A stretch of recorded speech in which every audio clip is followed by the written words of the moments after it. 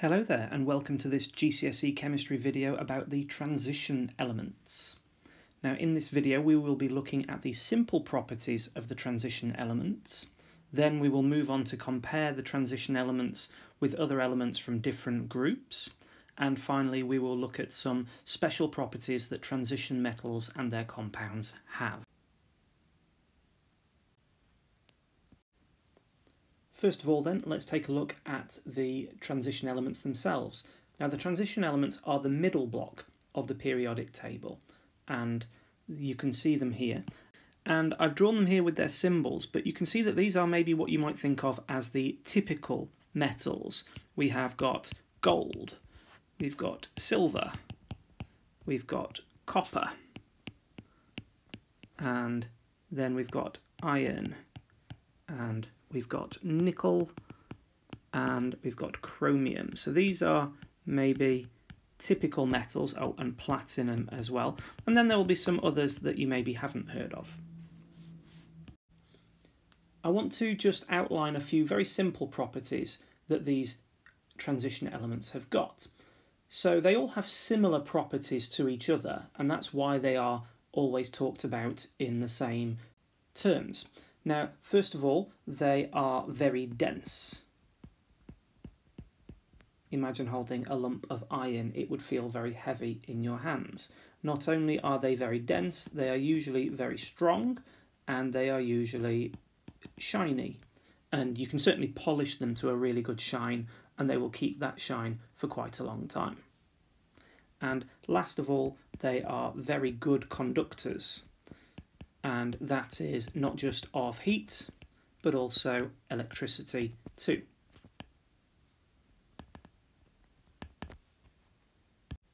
And I don't think any of those will come as surprises to you. So iron is very strong, so it's often used in bridges and construction. Copper conducts electricity, so it's often used in electrical wiring. It conducts heat, so it's often used in saucepans. And iron is used in saucepans too and platinum, gold and silver, they are not very quick to corrode, so they're used in jewellery. Now before I go too much further, I should probably point out what you've maybe already noticed, which is that I've only got the eight columns of this middle block of the periodic table highlighted. There are some missing elements on here. And that's because there are a number of different definitions of transition metals and a lot of them don't include zinc as being a transition metal, and some of them don't include scandium either, and so that's why I'm only considering titanium through to copper and the two rows beneath those elements on there. Now, the good news for you is that on your syllabus, it is really, really clear that you need to know what transition elements are like and you need to be able to give examples of the properties of transition metals and they name the ones that you are going to be asked about. You're going to be asked about chromium, manganese, iron, cobalt, nickel and copper. So this is the selection that the examiners will be asking you about in your tests.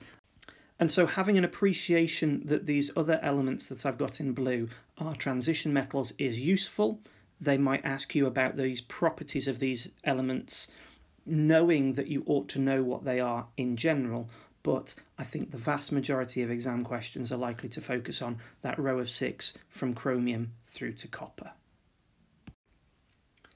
Now I've already said that the transition elements are metals with similar properties, but what I haven't said yet is that these properties are dramatically different to other elements that are considered to be metals, particularly those of group 1, the alkali metals.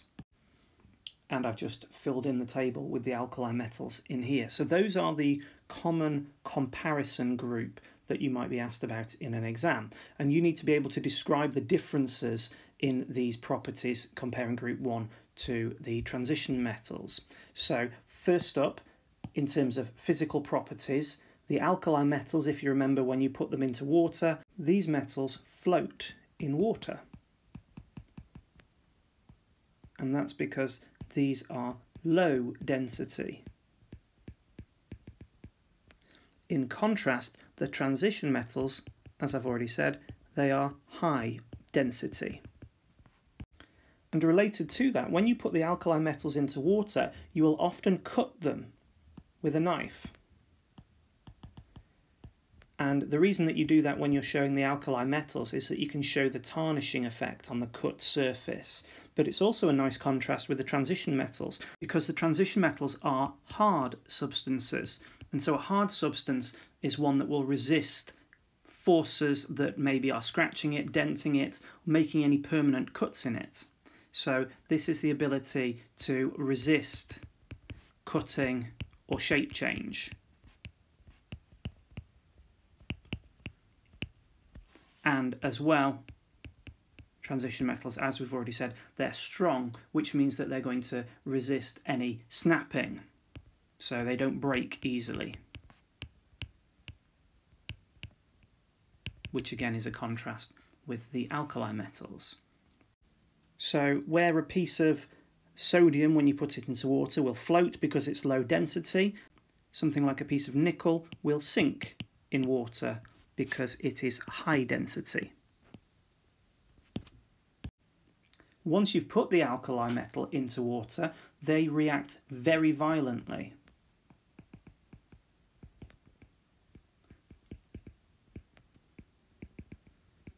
Whereas the transition metals will sink and they'll react very, very slowly at all.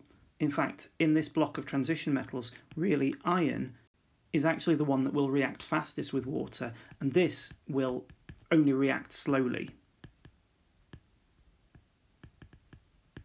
And something like manganese and nickel, they don't react at all.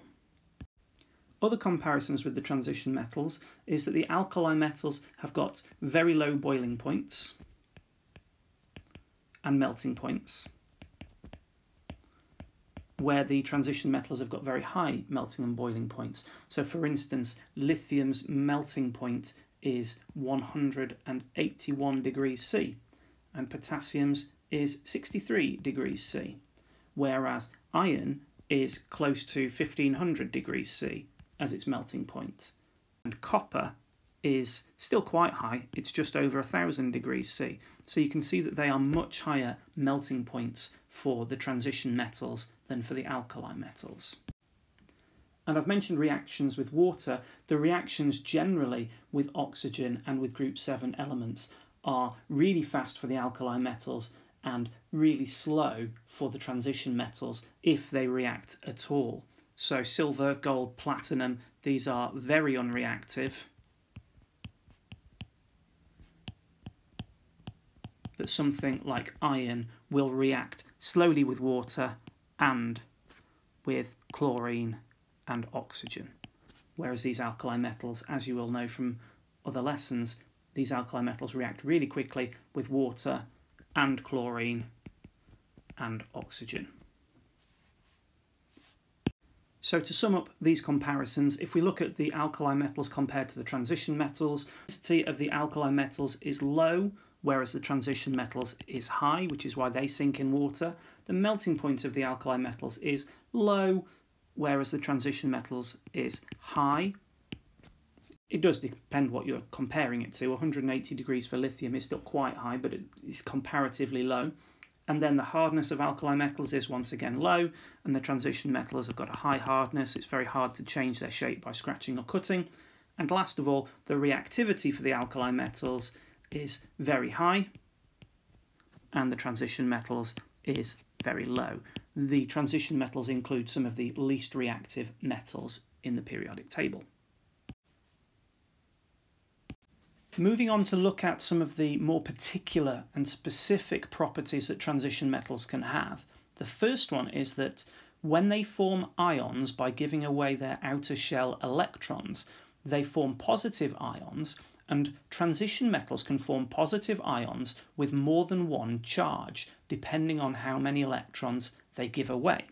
Now, probably the most common one of these that you're likely to encounter is iron.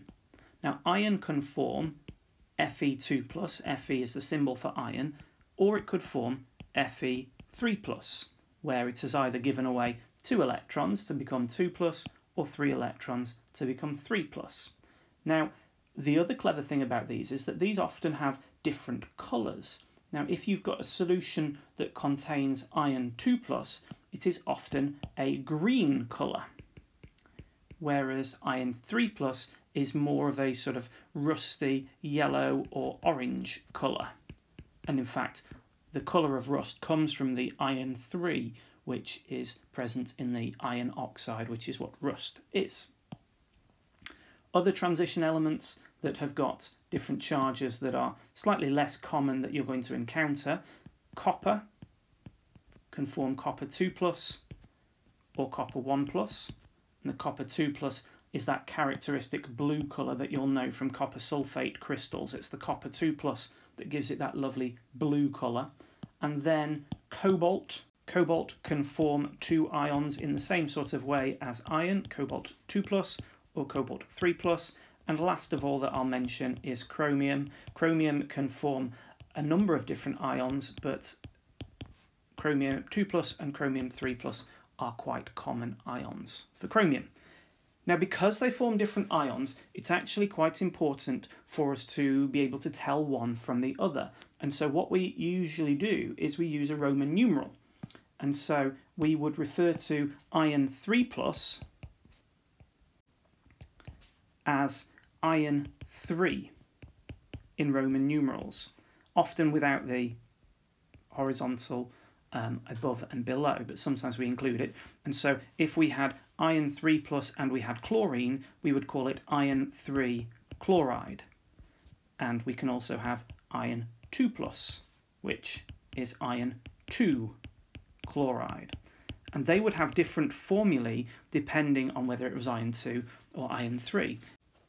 Because when you combine ions, remember they cancel out the overall charge. So Fe3 plus and Cl1 minus you combine them together and you get the formula FeCl3 because we need three of these chlorines to cancel out the positive charge of the iron 3 plus. Whereas if you have iron 2 chloride, iron is only 2 plus this time, chloride is of course still 1 minus, and this time you only need one more chloride to cancel out the positive charge. So the formula of iron 2 chloride is FeCl2. So it's really important to know what this notation means. That 3 in Roman numerals means that the iron is a 3 plus charge. So it always refers to the positive charge on there. The second property to discuss about transition metals is colour.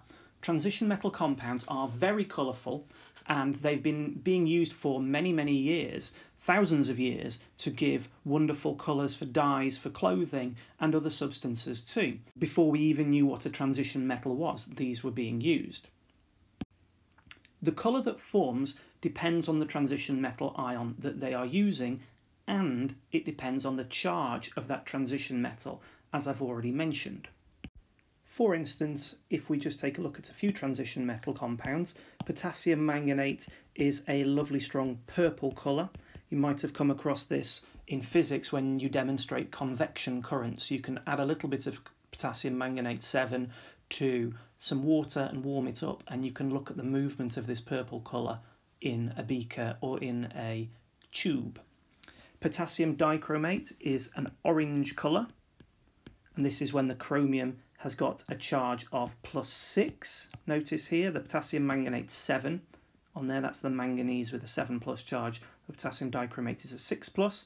If those transition metals change their charge from 6 to something else or 7 to something else, that purple colour or that orange colour is going to change. And I've already mentioned that copper 2 sulfate is a nice blue colour on there. And in fact, it's not the sulfate, like I say, copper 2 chloride will also be a blue colour. But copper isn't always blue, it can go green when it gets weathered over time. So lots of ancient statues that were blue have turned green. If you've got copper on the outside of your house, it might have changed colour slightly to a more green colour or a blue-green colour. Transition metals, like I say, they are not just limited to these colours that I've mentioned. We have them in pottery dating back from ancient Rome. The glazes were often transition metal compounds, and precious gems like sapphires that are blue and emeralds that are green, they take their colour from transition metal compounds that are contained within them. The last property that I want to discuss in this video is the property of catalysis. Now transition metals and transition metal compounds in some cases, they make good catalysts. Now, catalysts are really important in industrial processes. That means processes that make large scale amounts of a particular product. And what catalysts do is they speed up chemical reactions. And that means we get more of our product without having to wait a long, long time. Not only do they speed up chemical reactions, they don't get used up themselves.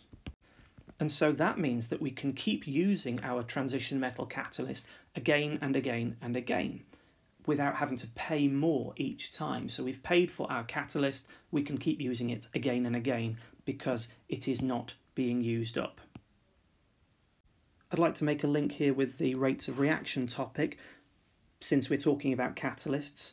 They speed up the rate of reaction without being used up. They do this by providing an alternative route or an alternative reaction pathway, it's sometimes mentioned as. And this alternative pathway has got a lower activation energy.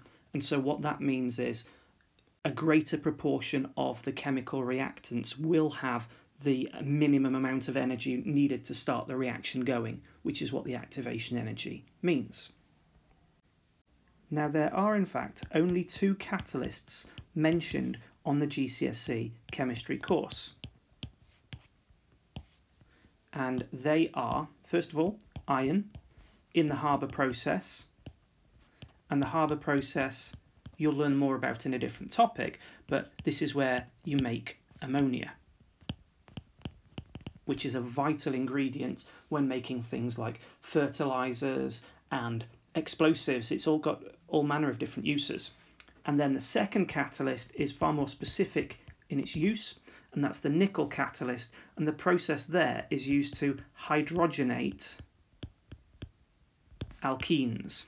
And what that hydrogenation means is turn double bonds in hydrocarbons, such as in ethene here, into single bonds between carbon atoms. And it does that by adding extra hydrogen to the molecule. So you can see that on the left-hand side, ethene contained only four hydrogen, whereas ethane on the right-hand side has got six because there are two extra hydrogen atoms in this molecule. And that uses the catalyst nickel to speed up the process of adding hydrogen on. Okay, that's the end of this video about transition metals. I hope it was useful, and I'll see you next time for a video about the halogens in group 7. Goodbye.